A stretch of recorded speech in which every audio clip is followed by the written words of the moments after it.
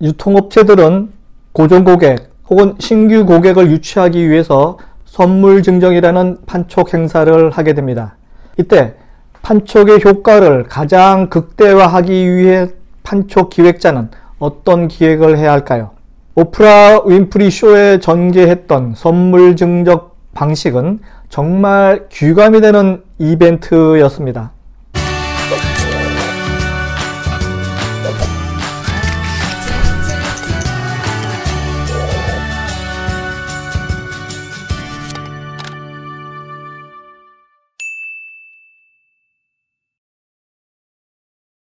안녕하세요. 유통구단 김앤커머스 대표 김영호입니다. 오늘은 감동을 선사하는 오프라 윈프리 쇼의 선물 증정 방식 편입니다. 누군가에게 선물을 증정할 때 그저 그렇게 전달해서는 안 됩니다.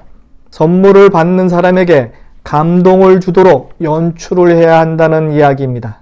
제가 지금부터 가장 극적으로 전달하는 마케팅 사례를 소개하고자 합니다. 그럼 그 대표적인 감동적인 사례를 들어보시기 바랍니다. 때는 2004년 미국에는 오프라 윈프리 쇼라고 하는 쇼가 방영되고 있었습니다. 그 쇼에서 어느 날의 주제가 자동차를 필요로 하는 전국의 국민들을 대상으로 왜 꼭 필요하신지 그 사연을 미리 받아서 12명에게 무료로 그 차를 선물로 증정하는 그러한 이벤트, surprise 파티를 기획하고 준비했었습니다. 오프라 윈프리는 이날 토크쇼의 시그널 뮤직과 함께 무대에 올라오면서 엄청납니다. 제 심장이 쿵쾅거립니다. 여러분의 소원을 이루어줄 수백만 달러의 선물이 기다리고 있습니다. 라고 외치면서 무대에 올라옵니다.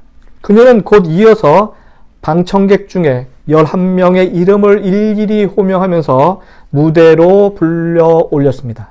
여러분들 모두 새 차를 바라셨죠? 네, 드립니다. 축하합니다. 라고 외쳤습니다. 그리고 이들에게 제너럴 모터스의 2만 8천 달러, 하나로 3,200만 원짜리 그 당시에 폰티악 G6 승용차 열쇠를 한 분한 분에게 드렸습니다. 윈프리는 이어서 나머지 방청객 265명에게 작은 상자를 하나씩 다 나눠 드렸습니다. 그리고 이렇게 말합니다. 이 중 여러분 중에 한 분은 마지막으로 드리는 12번째 자동차 열쇠가 들어 있습니다. 라고 말입니다. 그런 후 방청객들은 오프라의 신호에 따라서 뚜껑을 열는 그 unboxing이라고 하나요? 박스를 여는 그런 이벤트를 같이 동참하게 됩니다. 자, 방청객들은 오프라의 윈프리 신호에 따라 뚜껑을 열자마자 모든 상자 안에 새 자동차 열쇠가 반짝거리고 있었습니다. 방청석에서는 오 맙소사 고맙습니다. 믿을 수 없어요. 등 감탄사가 연발됩니다. 200여 명의 관객으로부터 나오는 그 함성의 소리가 전국의 시청자들을 감동시키기 시작합니다. 윈프리 제작진은요, 이날 토크쇼의 주제를 wild dreams, wild dreams라고 정하고요. 형편이 어려워서 고물차를 바꾸지 못하는 시청자들에게 새 차를 선물하기로 했습니다. 제작진은 미국 전역에서 새 차가 꼭 필요한 사연을 받았고요.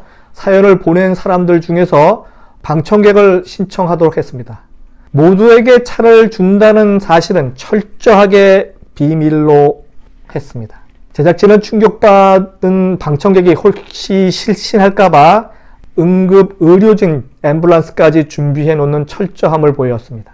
어떤 교사는요, 주변 누군가에게 자신 몰래 보낸 그의 낡은 차를 수시로 고장나서 수업에 늦곤 한다는 사연이 채택돼서 차를 받기도 했고요. 차체 구멍까지 난 차를 타는 엄마를 위해서 사연을 보낸 아들 형제와 약혼자의 고물 트럭을 바꿔주려는 여성의 사연도 채택되었습니다. 이들은 모두 녹화 뒤에 주차장에서 커다란 붉은 리본으로 장식된 아, 각자의 자동차를 만나게 됩니다. 총액 800만 달러, 하나로 약 92억 원 정도 되는데요. 어, 이 돈은 승용차 그 276대분은 GM이 협찬을 했습니다. 본 방송 내용은요, 그날 저녁 미국뿐만 아니라 전 세계 모든 나라 해외 토픽으로 전파를 탔습니다. 물론 우리나라 저녁 MBC TV 9시 뉴스 때도 이 이벤트 뉴스가 한 몫을 했습니다. GM은 승용차 276대를 무상 증정했죠. 하나로 92억 원이란 아, 자금을 어, 본 이벤트에 투자했습니다. 그러나 실제 광고 효과는 아마 1천억 원 이상의 효과를 냈으리라 봅니다. 그리고 이 이벤트의 특징은 그야말로 미국 스타일로 선물을 증정했다는 점 아주 특이합니다.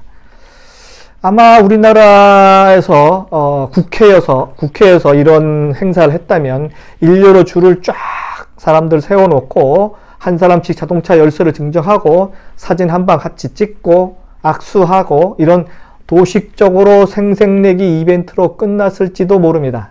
그런데 이 이벤트는요, 180도 어, 다른 방식으로 접근했다는 사실입니다. 마지막 12번째 행운은 누구일까 궁금하게끔 만든 다음에 아, 사실은 방청객에 있는 모든 사람에게 선물을 주는 그야말로 깜짝 파티를 연출했다는 점, 이 놀라운 200여 명의 얼굴이 여러 카메라에 동시에 잡히면서 스튜디오는 그야말로 환호와 흥분의 도가니였던 것이죠. 이 광경을 본 누구나 과연 오프라 윈프리 최고다라고 생각하게끔 한 이 제작진, 기획자에게 박수를 보냅니다. 그리고 스폰서인 GM, 그리고 276명의 당첨자 모두 윈윈 게임을 하는 이벤트였습니다. 본 사례를 보듯이 새로운 기획을 하고 그 프로세스를 일일이 점검해서 실행에 옮기기 전에 도상 훈련을 하고 나서야 실행에 옮기는 이 철두철미한 프로 정신 그리고 선물을 증정하는 품격 있고 재치 있는 방법을 배운 귀한 사례였습니다.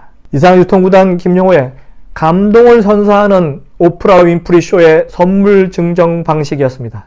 다음 시간에 뵙도록 하겠습니다.